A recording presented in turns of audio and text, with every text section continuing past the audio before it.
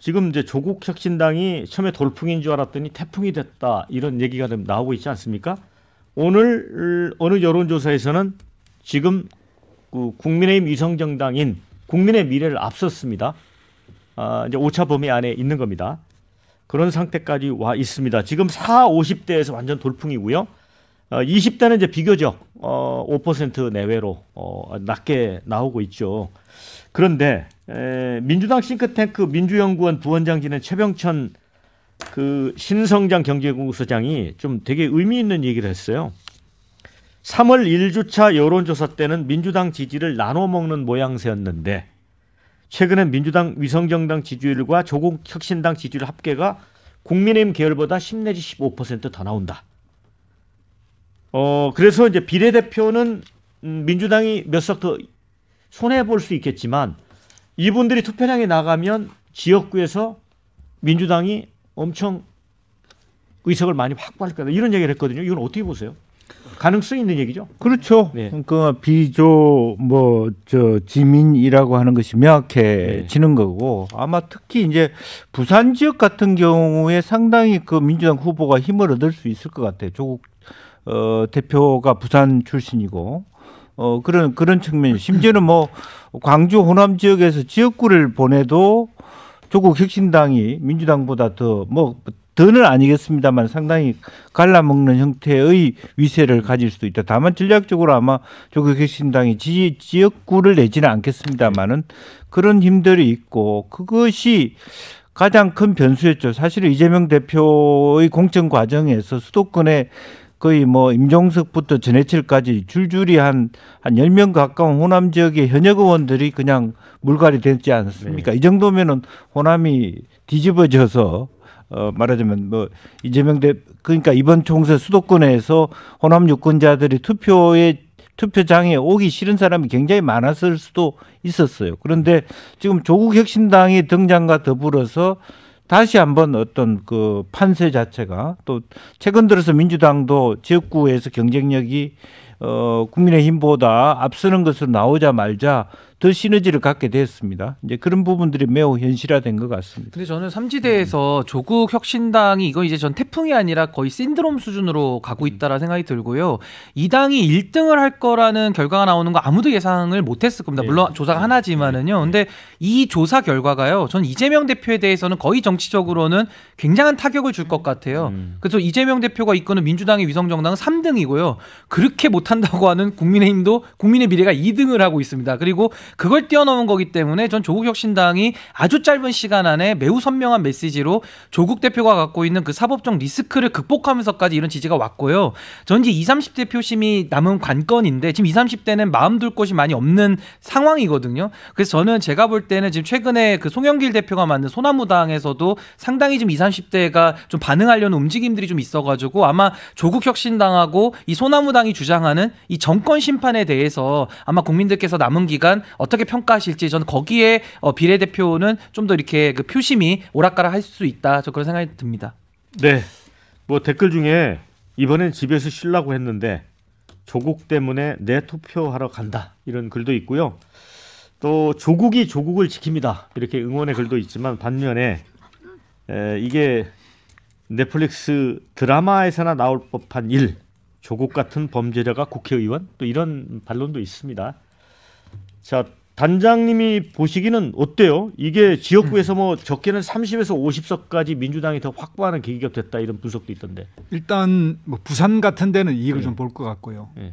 접선 지역이라든지 이럴 네. 때 있는데 어 우리 개혁신당 입장에서 보면 이제 개혁신당의 당 대표가 나와 있는 이준석, 하성을 같은 경우에는 어 이제 국민의 미래나 뭐 더불어 민주연합보다 조국 혁신당이 더 높게 나오고 있어요. 그래서 어 저는 이제 이 조국 혁신당의 조국 사태가 마찬가지로 어, 윤석열 대통령과 한동훈에 의해서 어, 탄압을 받았고 이준석 대표도 받았고 그래서 저는 이 조국 혁신당의 현상이 개혁신당의 지역에 나간 사람에게도 도움이 된다고 저는 봅니다. 어허. 그래서 어, 그런 차원에서 일종의 제3지대 원래 제3지대의 영역은 아니었습니다만은 어, 성향으로 보면 그러나 지금 현재 정치적 그 지형으로 보면 그 제3지대의 성격을 띠고 있어서 어, 지역 선거에도 도움이 되지 않을까 이렇게 예측해 봅니다. 네. 조국 신당 지지율의 상한선이란 없다. 이런 글도 올려 주신 분도 있는데 어디까지 치고 올라갈지 모르겠는데 진수현님 네. 이 국민의힘은 어떻게 총선 치러야 됩니까? 아, 그러니까요. 저는 조국 혁신당 처음 나왔을 때 국민의힘에서는 뭐 그렇게 크게 신경 안 써도 예. 좋겠다. 왜냐하면 그 민주당이랑 어차피 비례 의석을 그냥 제로섬으로 나누어 갖는 그 정도 이겠거니 생각을 했는데 어, 이게 뭐 돌풍을 지나서 아까 뭐 뭐라 그러셨죠? 태풍, 어, 신드롬. 저는 뭐 거의 토네이도급 아닌가 싶어서 그리고 지난주까지만 해도 아, 여기가 정점이겠거니 이랬는 그리고 비례 후보 리스트 발표되면 이제 가라앉을 거다 생각을 했는데 어 그게 아니더라고요. 그걸 보면서 저는 조국 혁신당의 바람을 보면서 아, 이게 결국은 국힘이나 여권에 대한 정권 심판론의 바람이 이 정도로 거세구나라는 거를 다시 한번 그 느꼈고요. 어쨌거나 민주당은 지금 지역구에서 도움을 굉장히 많이 보는 이런 상황이라서 총선 이후를 또 보면 총선 이후 이 조국 대표와 이재명 대표 간의 이또 재미있다고 표현하면 어폐가 있지만 그 좀 관전할 만한 아주 이렇게 그런 상황이 벌어 질 수도 있겠다. 야권의 어떤 헤게모니를 가지고 어 그런 뭐 다툼이랄까 경쟁이랄까 이런 게 벌어질 수도 있겠다 싶은 생각이 들었습니다. 네. 뭐 조국의 어머니는 윤석열 대통령이다. 뭐 이런 비슷한 글도 올라왔습니다. 야, 김영주 의원님. 네. 음, 어쨌든 정말 이 조국이 완전 완전히 뭐 휩쓰고 있습니다. 이제 그 여러 가지 모든 당으로부터의 그런 계기를 갖고 있어요. 그러니까 근데 제가 보기에는 더부 국민의 미래에 말하자면 비례대표 명단에 대해서 이철규 인재영이 위원장이 브레이크를 건 부분도 마찬가지고 전혀 감동 없는 저 정도밖에 못 내나 하는 정도의 라인업 또 라인업 자체도 하자가 매우 많이 있었고 그들이 상처를 준 게 마음을 약하게 그 바꾸게 하는 거고요. 민주당도 뭐 제일 크게 민주당이 조국 혁신당에 어, 그거는 두 번째겠습니다만은 아니 당에 투표를 하면 반은 진보당이 가져갈 거라고 보여지는 행태 자체가 내 표가 민주당으로 민주당 비례대표로 갈 거는 3분의 1이나 2분의 1밖에 안 된다는 것 때문에 아유 마음에 안 든다라는 생각이 들었고 또 하나는 실제로 가장 큰 어떤 조국 혁신당의 모멘텀을 준 거는 아무래도 이준석 대표와 어떤 그 뭡니까 그 이총리 간의 어떤 손을 잡았다는 것, 잡고 헤어졌다는 것. 그것이 가장 크게 조국 혁신당이 끼어들 수 있는 여지를 만들었다. 이 세 가지 요소들이 절묘하게 모든 부분들이 거의 다 어, 조국 혁신당에 가게 하는 어, 그런 계기가 되었다라고 보여지고 또 하나는 조국 혁신당 라인업이 물론 범죄자가 될 개연성이 많은 분들이 많습니다만 다른 당보다 나쁘지 않다는 부분도 네. 분명히 있는 것 같습니다.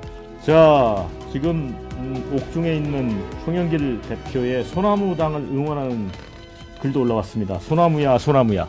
이런 글도 올라왔고요. 그 다음에 조국의 바람이 아니라 국민의 바람이다. 이런 글도 올려주신 분도 있고요.